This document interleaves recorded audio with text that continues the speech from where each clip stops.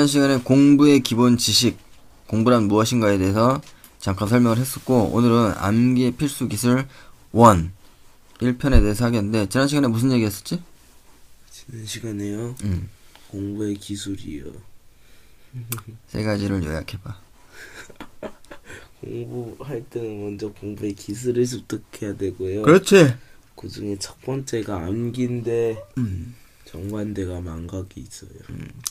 공부 잘하는 애들은 장기 기억으로 넘어가는 공부라고. 그렇지만 우리가 뭘 염두에 둬야 된다? 그렇지, 망각한다는 거. 자, 암기의 기술, 공부의 기술 첫 번째, 반복법이다. 반복법은 의심할 여지가 있어 없어? 어, 무조건 100%야. 반복법은 무조건 100% 효과 있는 거야. 공부할 때 무조건 맨 앞부터 다시 본다. 그리고 나서 새 진도 올라간다. 애들이 맨날 단기 기억 이제 삽질하게 되는 이유가 진도를 어떤 식으로 나가? 여기 하고 여기 하고 여기 하고 여기 하고 여기 하고 이런 식으로 한다는 얘기지. 공부할 때 진도 나갈 게 많으니까 빨리 끝내고 싶잖아. 그러니까 이렇게만 나가. 근데 요거 좀 할 때쯤에 여, 여기 어떻게 해줘? 까먹어지고 여기 할 때쯤 요거 까먹고 여기 할 때쯤에 여기 까먹고 이렇게 될 거 아니야. 결국에 최근에 한 거 한두 개만 남, 남아있고 다 까먹는다는 얘기거든. 그럼 어떻게 해준다? 여기 한 다음에 이렇게 가고 이렇게 가고 이렇게 가고 다시 양이 많을 때는 이렇게 가야 된다는 얘기지. 한 최소한 한세 개씩은 반복하면서 가야 된다는 얘기지. 누적 반복으로.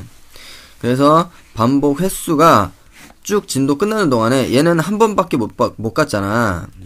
쭉 가는 동안에 한 10회 정도 이미 반복이 되게끔 복습을 하고 나서 하라는 얘기야. 오케이? 근데 학원에서 그럴 시간적 여유가 있을까요? 그게 바로 문제지 학원에서 두꺼운 책을 하기 때문에 시간적 여유가 없지 예, 선생님이 하는 거는 두꺼운 책이 아니야. 아니죠. 저 시간적 여유가 있어 없어. 있죠. 음. 아이고. 그러니까 잘 따라해. 예. 네가 근데 잘 지적했어. 학원에서는 반복시켜줄 시간적 여유가 없어. 그렇기 때문에 다 까먹는다는 거 알면서도 진도만 나가고 있는 거지. 즉, 맨 앞에서부터 반복을 안 하면은 결국에 망각, 망각된다. 그래, 결국에 뭐가 된다? 삽질이 된다. 자, 무조건 뭐부터, 어디부터 한다? 항상 맨 앞에서부터 무슨 공부를 했었는지부터 쫙 체크해 주는 거야. 대부분의 학생들이 맨날 공부하는데 머리가 비어 있는 이유는 바로 뭐다? 이것 때문에. 앞에는 안 하고 뭐만 나가? 진도만 나가기 때문이다. 오케이? 예. 자, 그러면 반복이 그만큼 중요한데 반복이 60 어, 7번 반복해야지 62%인가? 7번 반복해야지 62%가 기억에 남아있는다 그래. 바로요. 일곱 번을 반복해도 한 60% 정도밖에 기억 속에 남아있지가 않대. 예. 그러면은 한두 번 하면은 뭐야 다 까먹지. 그러면은 62%니까 한 최소한 12번에서 한 14번 정도는 해줘야지 100% 기억에 남다는 얘기야. 오케이? 예. 자 그러면은 12번 반복하기가 쉽나? 안 쉽거든. 저 어떻게 해야 되냐? 12번을 반복해야 돼. 최소한 14번. 그러면 반복을 하기가 쉽게끔 만들어 주려면 뭐가 빨라야 돼? 속도가 빨라야 된다. 어? 시크릿에 보니까 내가 어, 네 책 중에 시크릿에 보니까 거기 뭐라고 돼 있어? 우주는 뭘 좋아한다? 속도를 좋아한다. 속도가 빠른 사람 손을 결국에 들어주게 돼 있거든. 자, 그러면 어떻게 14번을 반복할 수 있을 것인가? 이거에 대한 고민을 해야 돼. 첫 번째로 이형 학습법. 역시 누구야? 나잖아. 내가 개발한 건데 네. 반복을 다 할 필요 있나? 아니요. 어, 정신 차려? 다 할 필요는 없어. 예. 결국에 시험에 나오는 건 정해져 있거든. 시험에 나오는 핵심 부분은 정해져 있단 말이야, 항상. 그 핵심 20%. 그리고 자기가 잘안 외워지거나 자기가 자꾸 틀리는 게 있어. 이상하게 얘는 자꾸 틀려. 여러 번 봤는데. 자, 그러면 다 볼 필요 없단 말이야. 그럼 어떻게 해준다? 핵심, 그리고 틀린 거를 어떻게 줘? 체크를 해놓자. 항상 선생님이 단어 할 때 어떻게 돼 있어? 어떻게 돼 있어? 어, 다, 다 체크돼 있지. 반복을 쉽게 하기 위해서야. 예. 됐지? 그러면은 이 두 가지만 체크해두고 반복 30회 반복하는 건 가능하다. 전체를 반복한다는 얘기가 아니야. 처음 맞은 문제의 70%는 다시 맞게 돼 있고 처음 틀린 문제는 10%만 정답이 된대. 그러니까 결국에 한번 틀렸던 문제는 다시 보면 또 틀린다는 얘기거든. 오케이? 음, 자, 이게 첫 번째 방법이야.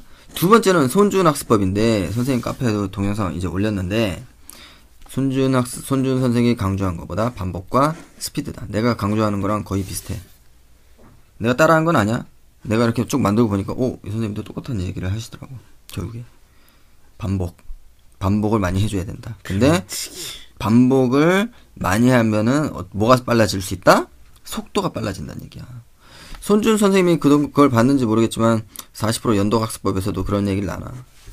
그 40% 연도학습법 다큐멘터리도 보면은 어, 하, 하면 할수록 어떻게 돼? 속도가 빨라지고 속도가 빠른 게 더 오히려 효율적이래. 졸립냐? 나 지금 졸음이 오기 시작했어. 나도 요즘 일찍 자가지고. 어제 어제도 이런 증상이 와가지고 갑자기 헛소리하고 막 그랬거든 내가. 새벽 4시에 일어났어요. 왜 이렇게 일찍 일어났어? 배 아파서. 몸이, 몸이 갑자기 절 깨웠어요. 아, 죽을 뻔했어요. 평소에 우리가 시험 치기 전에 한 5분 정도 남았어. 네. 근데 옆 짝꿍이 야 이거 시험에 나온대 하고 가르쳐줬어. 네. 그럼 어때? 졸라 빨리 보잖아. 네. 아, 전에 이런 적이 있었는데, 그 수학에서요, 음. 제가 문제를, 저 틀린 거를 오답풀이로 보고 있었어요. 음. 근데 하나가 이해가 안 간 거예요. 음. 그래서 뒤에 친구한테 물어봤는데, 근데 그 친구도 몰라서 그 뒤에 있는 친구한테 물어봤대요. 근데 그 친구가 그걸 이렇게 푸는 거야 딱 하고 시험을 봤는데 그게 서술형 마지막 문제였어요. 걔, 걔, 걔가 그래서 뒤에 있는 얘가 야 이거 나왔다. 걔도 그거 몰랐었나 봐요. 그래서 다행히 97점을 맞았지. 음. 걔가 영어는 망했지만. 어 졸려. 그래서 평소에 벼락치기 하듯이 빨리빨리 하는 습관을 들여라.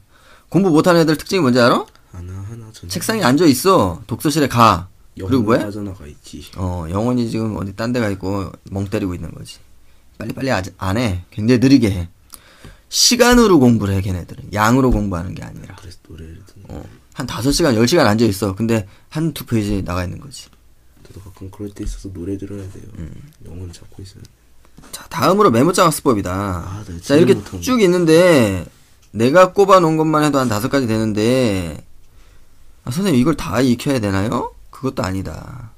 자기한테 가장 맞는 방법 한 가지. 예. 한두 가지만 평생 가져갈 학습법, 자기만의 학습법 한두 가지만 있으면 되지. 뭐 이거 다 가져갈 필요 없다.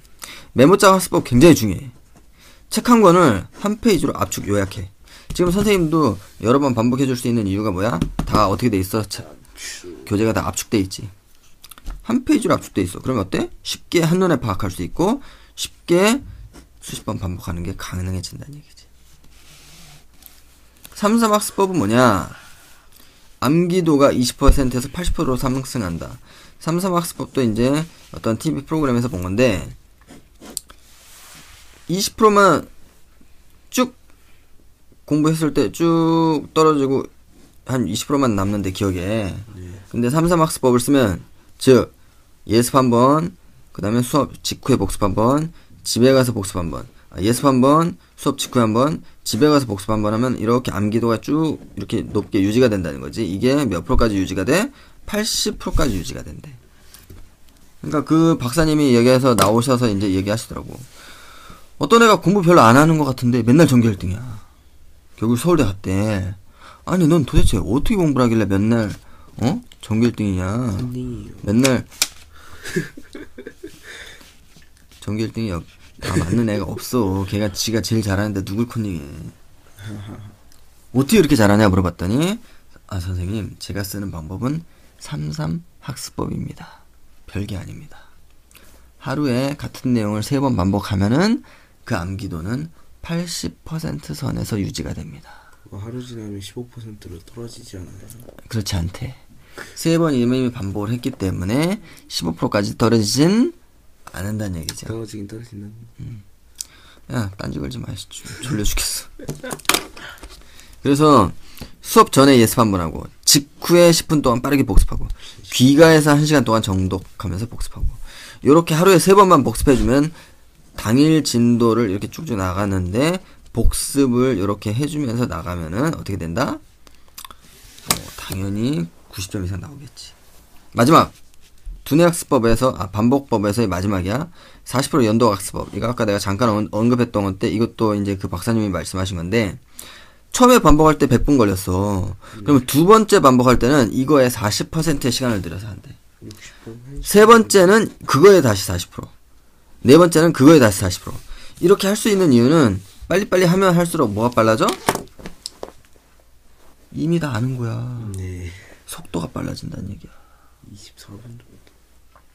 그래서 어, 지금 점점 이제 비몽사몽 돼가지고 헛소리 나갈지도 몰라 지금. 나오려고 하신 것 같아요. 여기 막 여기 수업하다 졸리면서 참으면서 하니까 어 그래 어 이서진이 어떠저 어, 삼시세끼 아, 내가 해석을 해주고 있었어. 네. 해석을 해주고 있었는데 갑자기 이서진 얘기를 내가 막 하고 있더라고. 학생은 뭐 어떻게 반응했어요? 어, 네? 그러는 거야? 그래가지고, 어. 근데 바로 그냥 안 좋은 척하고, 야, 이서진이 그 삼시세끼 재밌지 않았냐? 갑자기 이렇게 하면서 넘어갔지. 야, 너 지금 뭐하냐? 갑자기 문자가 엄청 와서요. 야, 반복법은 오늘 선생님이 추려놓은 거는 그래 총 다섯 가지 방법이야. 오케이? 그럼 숙제로 다 써놓나요? 어. 1번, 이형 학습법이다. 핵심. 이 그리고 이름 자기가 틀리는 거, 자기가 틀리는 거를 체크해서 두 가지를 30번 반복한다. 여섯 번 반복이 아니야. 열 번 반복 아니야. 30번 반복이야. 오케이? 30번 반복. 그 다음 손준 학습법은 뭐다? 무조건 두 가지. 반복과 속도. 반복과 속도. 항상 이걸 언제까지 끝낼지 시간 제한을 두고 이걸 어디까지, 이건 언제까지, 이건 언제까지 이렇게 시간 제한을 두고 거기에 맞춰서 공부하라는 얘기야. 빨리빨리. 오케이? 예. 메모장 학습법은 어떻게 했다? 한 권을 한 페이지로 압축 요약해라. 그래서 쉽게 한눈에. 지금 이것도 몇 장이 아니라 뭐다? 한 페이지다. 한 페이지. 예. 한 페이지. 한 페이지다. 위. 한 페이지로 반복, 어, 압축 요약해서 수십 번 반복할 수 있게 한다. 삼삼학습법은 뭐다? 하루에 세 번 보자. 예습 한 번, 예습. 복습 한 번, 집에 가서 복습 한 번.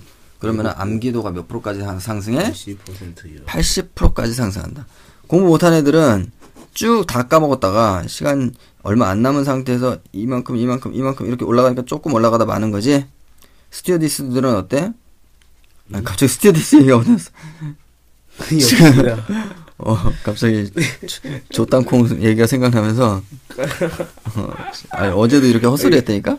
아니 갑자기 너, 너 스트레스가 스케줄을 자르는 방법이 이 방법이라고 할 뻔. 아, 아, 그래서 요게 암기도가 이렇게 떨어졌다가 조금 올리잖아. 근데 스튜어디스가 아니라 전교 1등 하는 애들은 어땠냐면은 전교 1등 하는 애들은 예습 한 번, 복습 한 번, 복습 한번 해가지고 요게 암기도가 이렇게 쭉 80%로 유지가 되고 있기 때문에 시험 전에 요만큼 나머지 20%만 암기를 해가지고 시험 치면 된대. 그래서 100점이 나온다는 얘기지.